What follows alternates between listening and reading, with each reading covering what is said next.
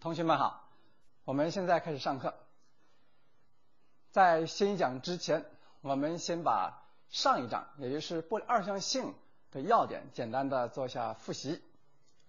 在上一章，我们主要讲了黑体辐射及普朗克能量子假说、光电效应、康普顿效应、氢原子的光谱，还有。物质波，还有海森堡的测不准关系，整个讲了这些内容的核心的一个思想，就是物体的波粒二象性，也就是说，微观粒子具有波粒二象性。那么这一讲呢，我们就来研究具有波粒二象性的这个微观粒子它的运动规律。由于微观粒子它具有波粒二象性，因此我们不能用坐标或速度或动量这样一些量来描述它的运动规律，因为我们前面已经讲过，坐标和动量具有不确定关系。那么，用哪一个物理量来描述？微观粒子的运动规律呢？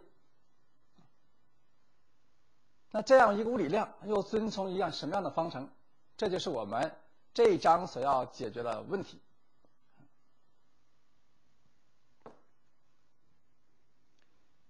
第十七章量子力学，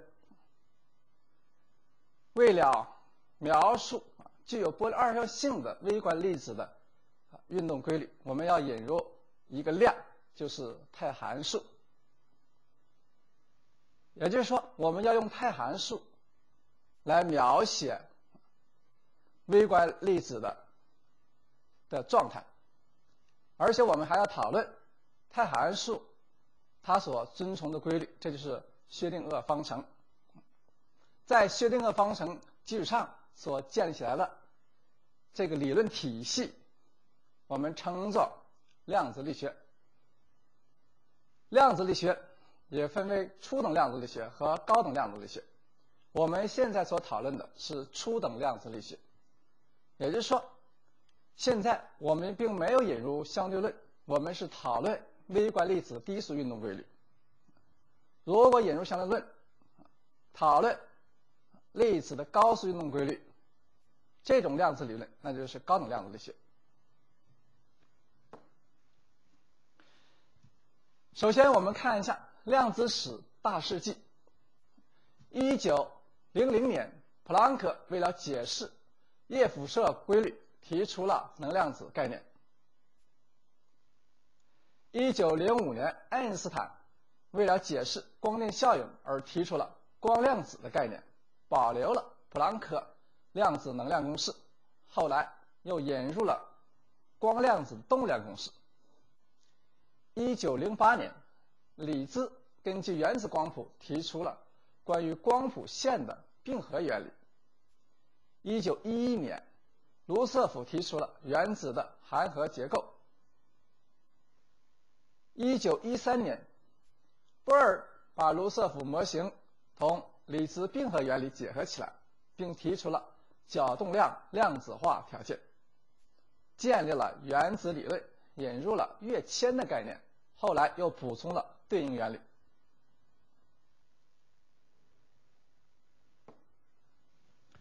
一九一六年，爱因斯坦提出跃迁由外部原因引起的和非外部原因引起的两类，引入了具有概率意义的跃迁系数。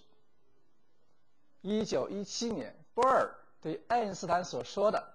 非相对、非外部原因做了非决定论的理解，把非外部原因引起的跃迁改名为不需要原因的自发跃迁，使非决定论成为哥本哈根学派的哲学信条。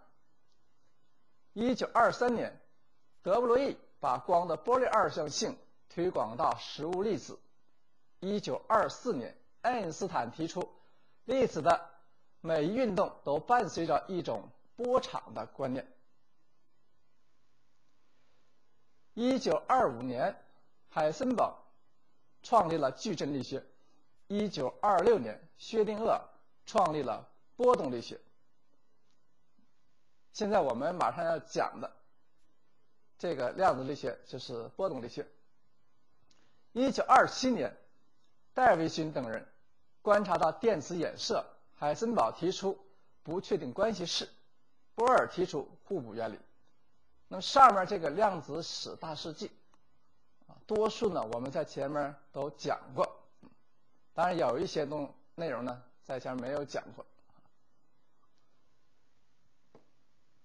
下面我们来看呢第一节内容，叫波函数。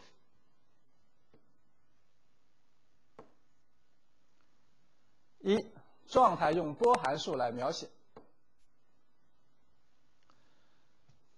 在前面呢，我已经提过了一句，因为微观粒子它具有波粒二象性，它坐标和动量或速度具有不确定关系，也就是说，坐标和动量不能同时测准，因此我们不能用坐标和速度或者是动量来描述微观粒子的运动状态。那由于微观粒子具有波粒二象性，具有波性，现在我们就试图啊，从波的这一样角度来找出描写微观粒子状态的一个量，这个呢就是我们下面要讲的波函数。首先，我们从平面简谐波的波函数来入手，来引入。波函数这样一个概念，在讲机械波的时候，那我们知道平面简谐波的波函数 y，它是 x_t 的函数，它等于 a cos 二派乘以括号 νt 减去 x 比上 lambda，这里的 a 就是振幅。它是表示位移的最大值，这 nu 是频率，lambda 就是波长。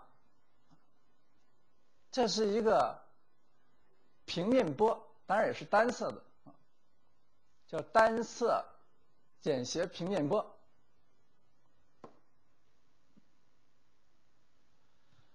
当然了，如果对于啊电场波、磁场波来说，那这个 y 啊，它也可以表示电场强度或磁场强度。所以这样一个关系式，也就是我们以前所知道的平面简谐波的波动方程。下面我们利用 e i 西塔次幂等于 cos 西塔加上 i sin 西塔。这样一个关系式，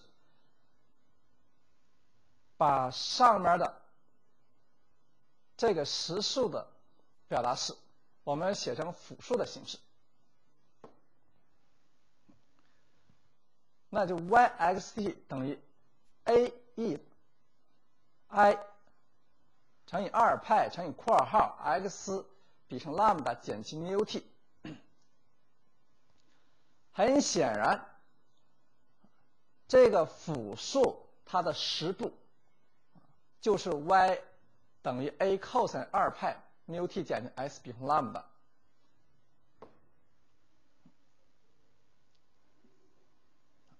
第二，我们知道，根据德布罗意假设，那任一个自由粒子，它也伴随一个波，这个。由于粒子是自由的，那它有确定的能量，还有确定的动量。根据德布雷关系关系式，能量 E 等于 h 缪，那动量这个 P 等于 h 比上 lambda。既然 E 和 P 是确定的。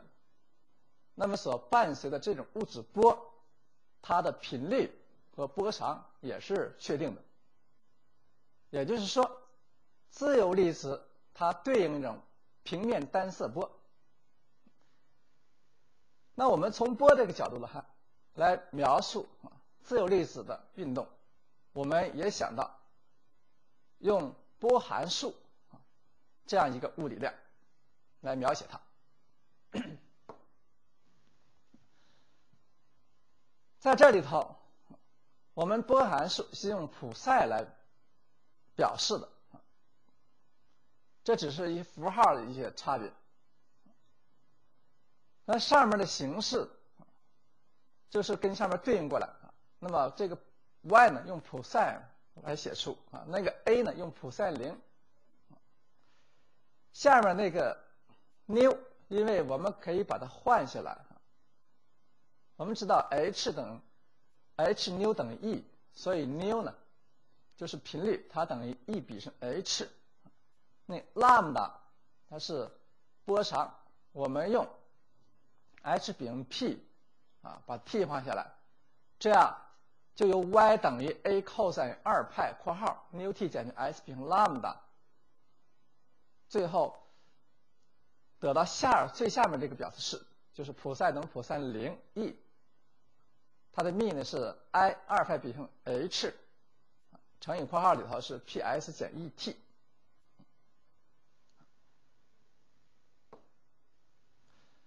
那这个 h 比上二派，这也是以前面我们讲波二象性那一章所引入的一个常量，它就是 h 一横，所以这个普赛就等于普赛零 e 的 i 比 h 一横。乘以括号 Px 减去 Et，这个表示式实际就是啊描写自由粒子的波函数。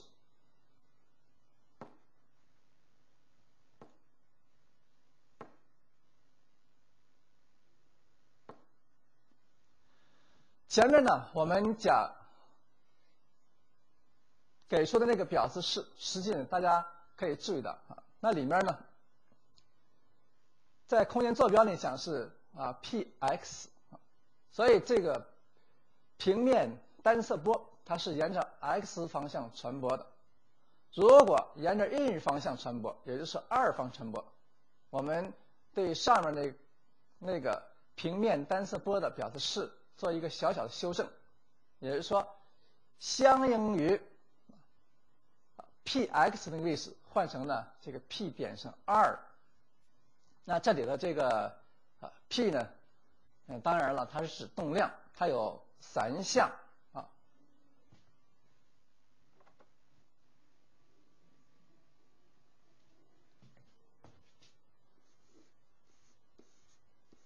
它是的 px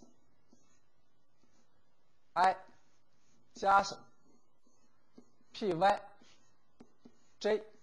加上 Pz k，那这个二呢？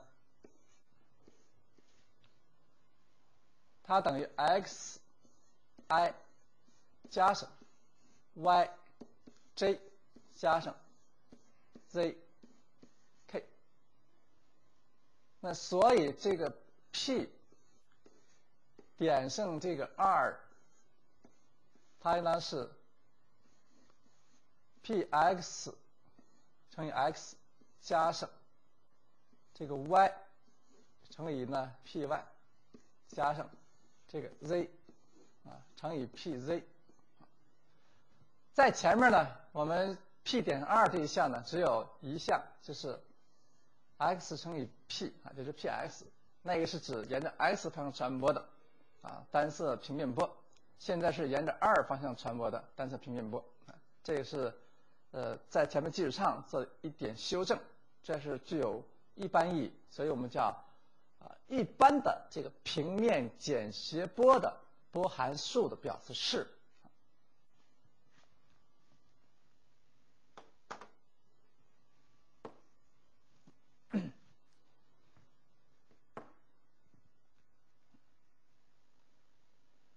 我们从这个式子，其实大家也看到了。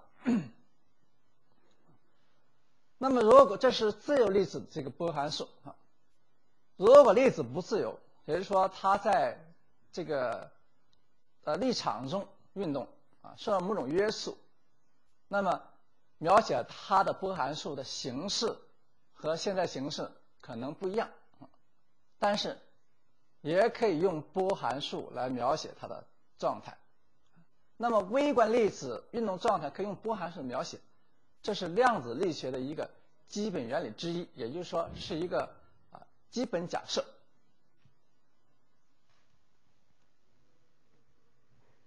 下面我们讲啊第一层含义，就是说微观粒子状态要用波函数来描写。第二点，我们来讲波函数的统计解释。这个呢是啊比较难的一个问题。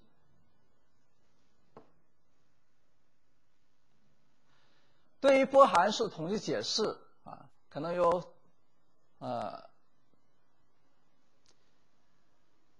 波函数的它的解释有这个几种啊，有这个统计解释啊，还有的这个啊导引波的这个理论，还有呢多世界理论。还有呢，其他一些理论啊，我们教材中给出这是波函数的统计解释啊，这是啊，一九二六年由物理学家波恩给出的。所以我们讲第一个问题就叫电子干涉的波恩统计解释。那么电子干涉实验呢啊，类似光的这个。双缝干涉实验就是我们现在来谈的是电子双缝干涉实验，类似光的双缝干涉实验，它可以在这个照相底板上形成这个呃稳定的图样，这个和光的干涉图样呢基本是一致的啊，也就是说形成一些这个类似光干涉就极大极小啊这么呃相间分布的啊这么一个稳定的图样。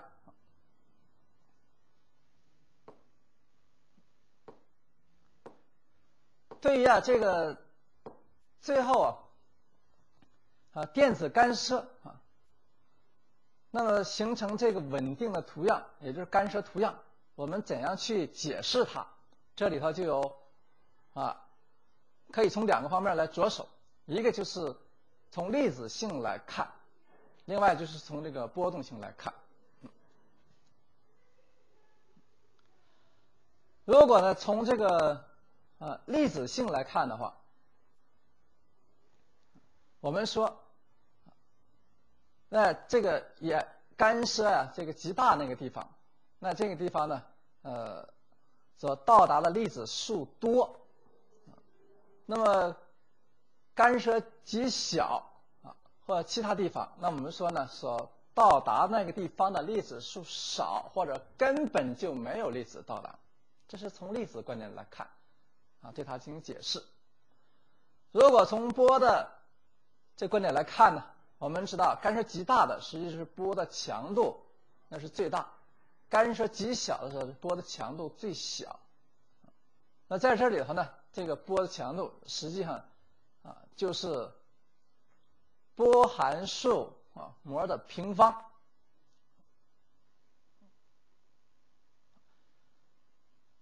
那也就是说。我们把这个类似观点和波的观点结合起来，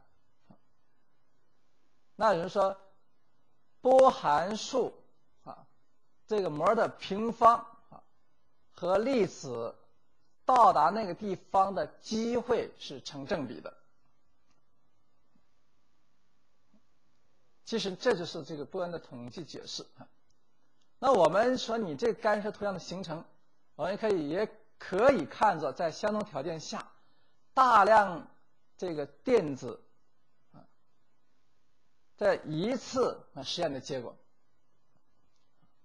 也可以看成是这个少数的电子在相同条件下多次重复实验的结果。但不管怎么说，我们把这个波动和粒子两方面结合起来。按照波恩啊给出的结论，那就是最干涉极大那个地方啊，粒子到达那个地方的机会多，我们说粒子出现那个地方的概率就大。那那个地方呢，这个波的强度，也就是说波函数模的平方也就大，所以波函数模的平方和粒子的。几率是成正比的，这就是这个波恩呢，呃的统计解释。下面就是这样，就波函数强度，那波的强度就是波函数模的平方，它它的这个就是这个哈，波的强度它最大。和最小，就是它的取值呢，与这个波函数模的平方是成正比的，这是一个结论。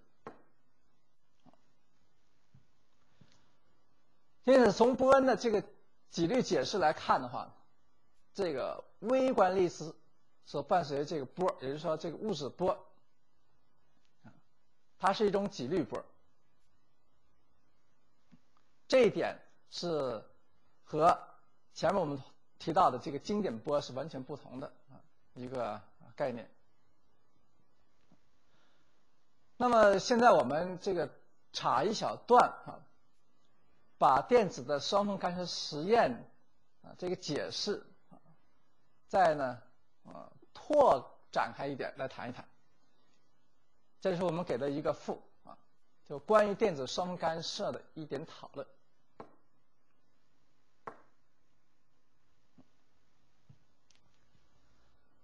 我们这个先说一下这个图啊，前面的那个是一个缝屏啊，最前面的，那里头有两条缝啊，这个呢就是相当于我们杨氏双缝干涉的啊那两个光源。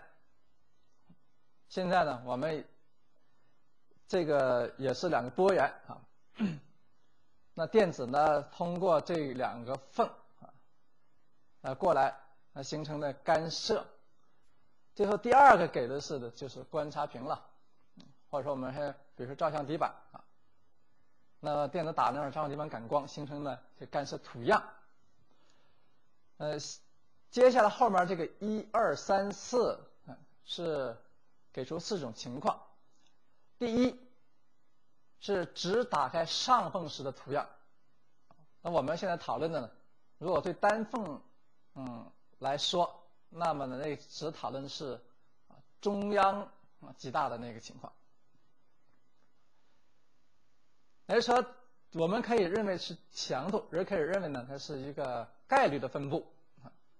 所以只开上缝的时候，它这个强度最大，那就是呃正对缝的啊那个位置。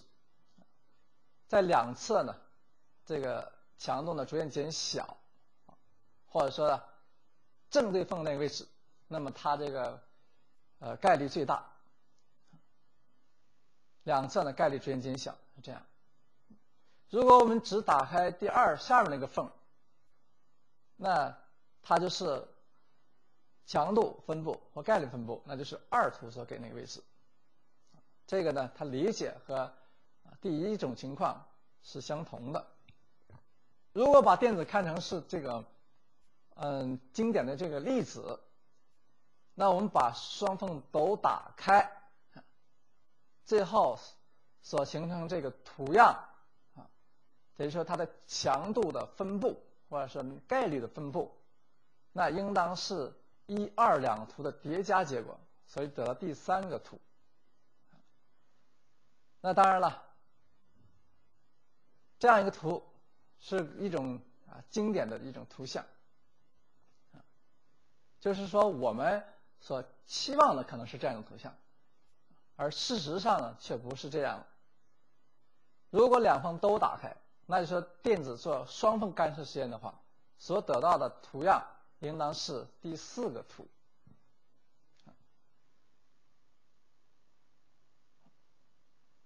那第三个图怎么来的呢？是第三个图呢？它是这样哈，你把这个电子呢看成经典粒子的话，那我们认为这样一个电子啊，或者通过第一个缝，或者通过第二个缝，因此最后它形成的图样，那应当是一二这样的情况叠加结果，那出第三个图样啊。那事实上它形成是第四个图样，很显然。我们把电子看成经典粒子，说电子或者通过上缝或者通过下缝这种说法是不对的。那我们又讲了，说是不是电子它同时穿过两条缝呢？我个人认为呢，应当是这样，就是把电子看成波，这个比较好理解一点一点。那电子波呢，可以同时通过两个缝，最后呢。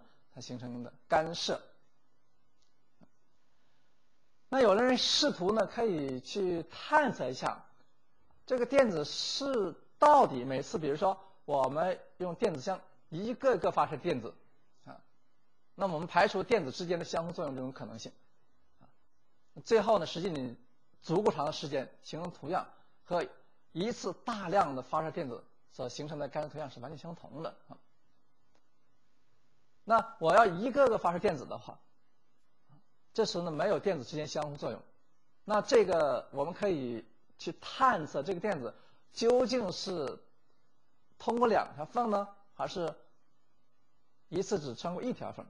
比如说，我们可以在上方后面安探测器，但是啊，你一旦安安了探测器，最后你探测结果，那个电子只是通过一条缝，但是后面这个干涉图样也就消失了。那这里就有一个问题，就是说，这个电子呢，它是怎么知道的？那哪个缝后它有探测器呢？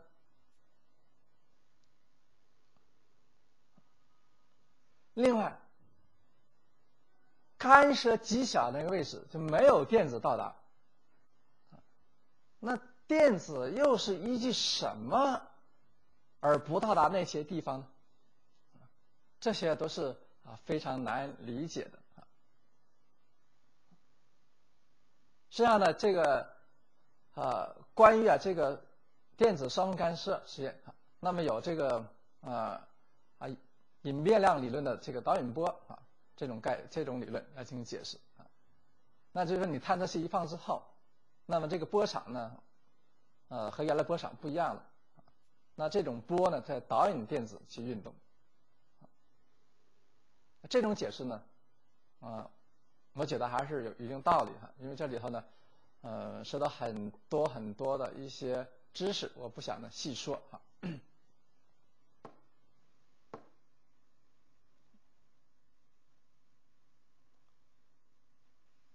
最后我们看看呢，这个这句话啊，这个非常有意思的是呢，只要在这个缝后或者上缝或下缝。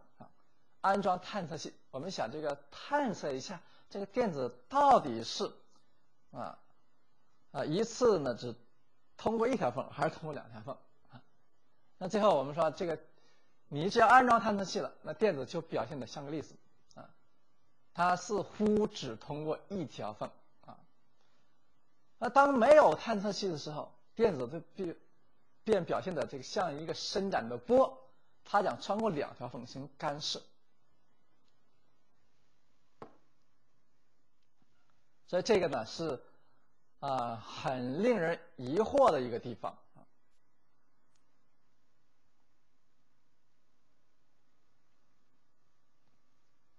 那下面我们看看这段话啊，这个是啊费曼的一段话。费曼呢是啊诺贝尔物理学奖的获得者，他说这样，我想。我可以有把握的说，没有人懂得量子力学。我来告诉你，自然界的行为像什么？只要有可能，你就不要老是问自己，他怎么会这样呢？如果那样，你就会被抛弃，走进一条死胡同。到现在还没有人能从这条死胡同走出来，因为没有人知道自然为什么会这样。这是。费曼的这个一段话啊。但是啊，如果每个人要都不问一个为什么，我想呢，啊，对这种疑惑不解的问题，那么怎样来解开它呢？啊，那也是不可能的。所以总得有人去研究。其实现在呢，呃，关于这个电子双缝干涉这种演，就是说，呃，电子具有波粒二象性的，啊，它的解释也有很多啊。那有兴趣的同学可以看一些啊相关书籍啊，还有说一些啊物理学家写的这个著作。我想未来啊，这个问题会得到解决的。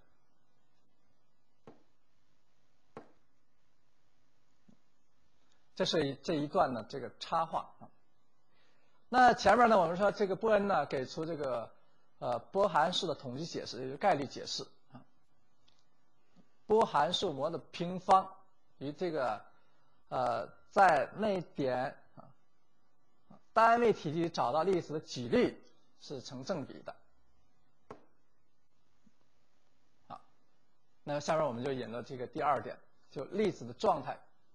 用波函数 phi s y z t 来描写。那在 t 时刻，在坐标 x 的 x 加 ds，y 到 y 加 dy，z 到 z 加 dz，也就是说在 x y z 附近。那这个呃这么一个立方体里面啊，就是说它这个三维是一个是 dx，一个是 dy，一个 dz 啊。那体积是 dx dy 乘以 dz 啊，这样一个体积里头啊，所找到的粒子的几率，也就是概率，我们用 dw 表示。由于它是空间坐标和时间函数，所以呢，我们 dw 括号是 s y z t 啊。这个东西呢，它就能等于啊这个波函数模的平方啊。在这个乘以呢 dw，波函数模，因为这个 dw 与这个波函数模平方成正比，另外呢，这个 dw 由于这个体积 v 成正比，所以呢，最后我们说这个 dw 它就等于 c 啊乘以 phi 模的平方再乘以 dx dy dz，dx dy dz 是体积啊，以体积成正比是很自然的哈。因为你体积越大的话，那么粒子出现的几率肯定就越大。也就是说，我们在那个呃空间里找到粒子的机会就越多啊，这是很自然的。那这个比例系数呢，我们给出用 c 来表示。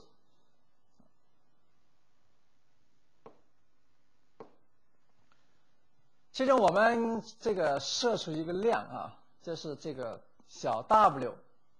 它也是 s y z t 的函数，我让它等于 c 啊乘以 phi 的平方。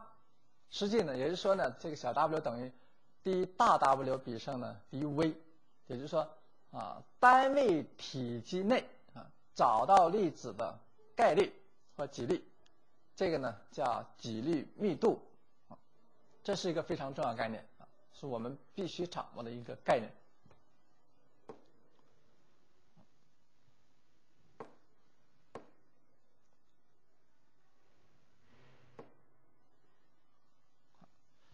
第三点呢，根据这个，呃，波恩的统计解释，要求粒子在空间各点的概率总和为一。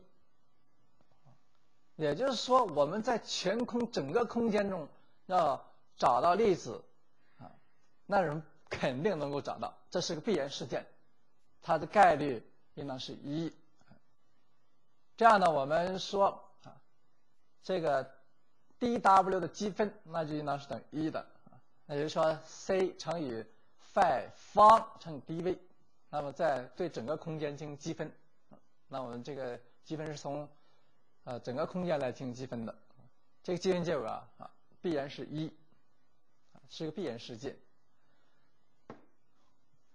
那这个式呢，我们也称为啊归一化条件。现在我们呢，这个。用一个大的普塞哈，这个 S Y Z T 来替代呢根号 C 的 phi S Y Z T，做这么一个替换之后，那么这归一化条件就可以写成啊下面这个形式，也就是说普塞膜的平方啊 d v 进行积分，这个等于一。那这里头这个两个普塞啊都是描写粒子。状态的这个波函数，那这两个谱塞呢，它唯一的呃区别就是差一个常数。我们很容易证明，那么用大谱塞这个波函数我们描述粒子状态，还用呢这个大范描来描述这个微观粒子的状态，那这。两个波函数描写粒子状态时的这个几率密度是相同的啊。既然几率密度相同了，那我们说这个大谱赛和大 phi 描写的是同一个状态，这个和经典波是不一样的因为经典波的话，那如果这两个波函数啊不等。它差一个常数，那也就是说，呃，像我们说机械波，它的振幅不一样，那强度不一样，那应当是不同的波。但是呢，我们现在谈是几率波，两个波函数呢是差一个常数，但是啊几率密度不变，所以描述的仍然是同一个波。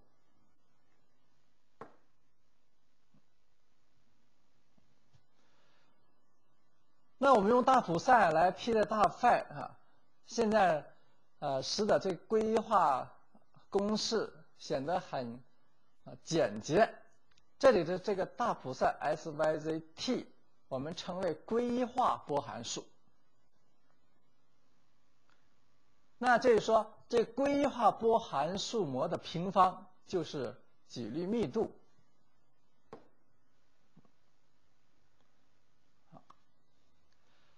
我们由非归一化这个波函数大 phi 来求归一化波函数大普赛，这样一个过程称为归一化过程，而它俩之间所相差这个常数根号 c，我们叫归一化常数。求归一化波函数和归一化常数，也是以后我们。经常遇到的计算问题，啊，希望大家掌握这样一个公式。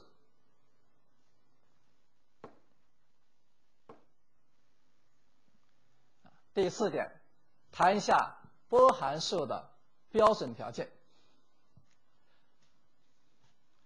波函数它的模的平方是表示几率密度。那我们知道，我们在空间。某一点，那某一时刻找到它的粒子的几率，那应当是唯一的。所以，波函数应当具有啊单值性。另外，我们找到粒子几率也应当是有限的，这也要求波函数是有限的。那我们从一个位置到另一个位置，这个。几率的变化应当是连续的，所以要求波函数是连续的。一句话，我们由几率的唯一性、有限性和连续性，就要求波函数它具有单值、连续、有限啊这样一个条件。另外，从连续，我们还可以进一步啊来说一下。由下一讲一解呢，我们就会得到这个波函数所遵从的这个方程是薛定谔方程，而薛定谔方程呢，呃，它是关于空间坐标的这个二阶微方程啊。那么有二阶微导数要存在的话，那么一阶导数啊，一定是啊连续，一定是连续可导的啊。所以说呢。这个波函数的导数也是连续的，这一点对我们以后来确定一些常数是有重要意义的。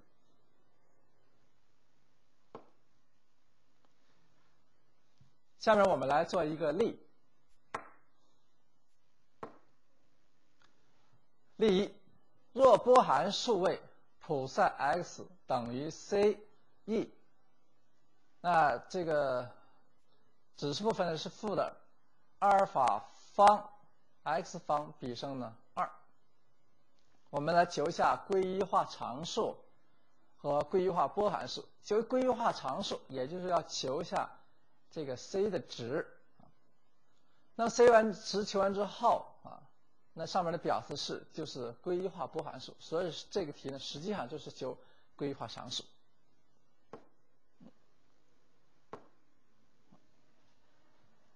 那么根据归一化条件啊，普赛模的平方啊啊对这个 x 进行积分啊，现在呢这个 x 是从负无穷到正正无穷的，这是一维空间。整个一维空间呢，我们呃。来进行这个积分，就把上面这个表示式带进去。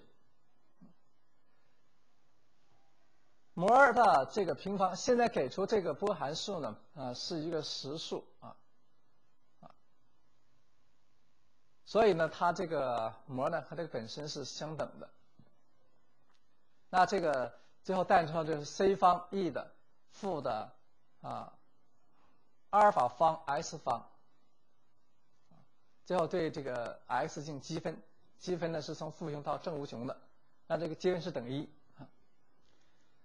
这样一来呢，我们 就能把这个 c 呢求出来，c 等于阿尔法比生根号派，然后括号的二分之一次幂。c 求之后，那这个归一化波函数呢也就得到了。这是做一个例子啊。那么大家利用这个归一化这条件来求归一化这个波函数啊，或者说归一化常数。